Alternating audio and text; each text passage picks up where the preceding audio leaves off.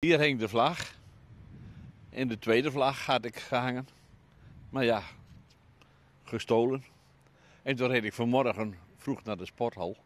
En toen reed ik er langs en alle vlaggen waren weg. Hier zie je dan een wegpakken. Ja, hij vertrapt ze helemaal. Ja, dat zijn dingen.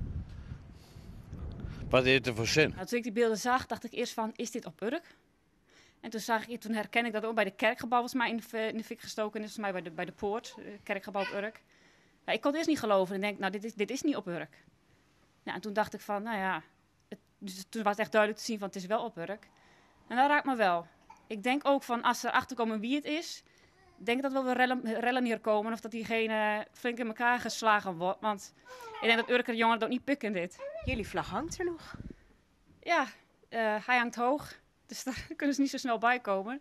Dus eh, elke avond pak ik hem gewoon binnen. Ik heb geen vlag hangen, maar ik koop er nou wel een. En waarom? Nou ja, eh, iets om eh, eens te zijn met Israël. Eén te zijn met Israël.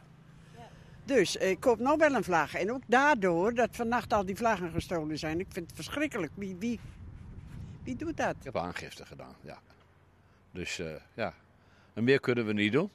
Hoe nu verder? Nee, ja, zal verder moeten. Ik moet nog wachten op een andere vlag. Maar de brug waren ze uitverkocht. Ja, jammer. Anders had ik hem nou al neergehangen.